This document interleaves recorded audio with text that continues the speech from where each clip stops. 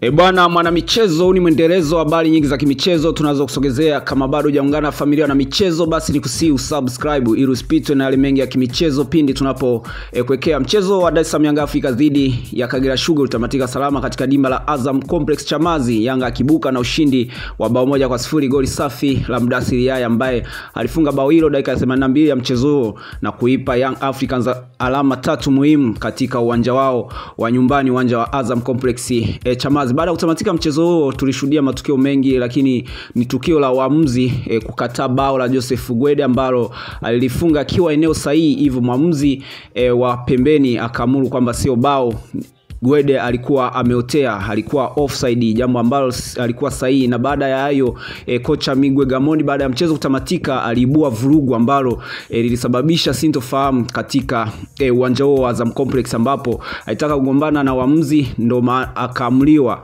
e, na baadhi ya wachezaji akiwemo Aziz Ki, lakini pia na Dickson Jobu wakamtuliza kocha Migwe Gamondi ambaye alipaniki na kuja juu na kutaka kuwavaa waamuzi kwa maamuzi walioyafanya. Baada ya sakata hilo lote, Ahmed Ally ambaye ni afisa habari wa klabu ya Simba yeye ameibuka na kusema nitashangaa kumwona huyu mwalimu kwenye tuzo ya kocha bora msimu huu.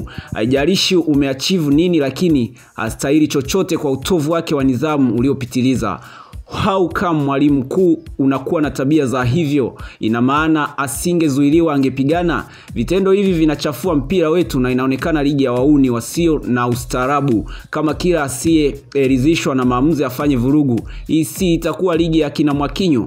Alafu hapo bado wapo kwenye mchezo. Mwamuzi huyu alishindwa nini kumwonyesha kadi nyekundu? Hii tabia ya watu wa nyuma mwiko kuwafanyia vurugu waamuzi ime, ime, umeota mizizi sasa. Tazama E, kitu ambacho amekifanya ni watu wa nyuma mwiko wakitaka kuwapiga waamuzi wiki iliyopita kwenye mechi ya Coastal e, Cassian Queens na nyuma mwiko Princess katika uwanja wa Samora Iringa. Waamuzi waliokolewa na polisi na wakatoka uwanjani dhidi ya ulinzi mkali. Hii tabia inapaswa kukomeshwa tena kwa haraka. Kwanza, usalama wa waamuzi wetu; pili, kulinda thamani na hadhi ya mpira wetu. Hatuko tayari kuona watu wachache wanachafua taswira ya mpira wetu, na hawa nyuma mwiko lazima wakumbushwe E, kuwa hawapo juu ya sheria. Hayo ni maneno ya afisa habari wa klabu ya Simba Ahmed Ali akituma dongo kwa e, kocha Migwe Gamondi kwamba astahili kupewa tuzo ya kocha bora. Atashangaa sana endapo atapewa tuzo ya kocha bora, kwani ameonyesha kitovu e, utovu wa nidhamu kwa kile ambacho alikifanya katika dimba la Azam Complex baada ya kuibua vurugu ambazo zilisababisha sintofahamu e, kisa Gwede kunyimwa bao halali. Nini maoni yako? Tuandikie kwenye upande wa comments, lakini pia kama bado ya subscribe basi ni kusii usubscribe ili usipitwe na yale mengi ya kimichezo pindi tunapokusogezea.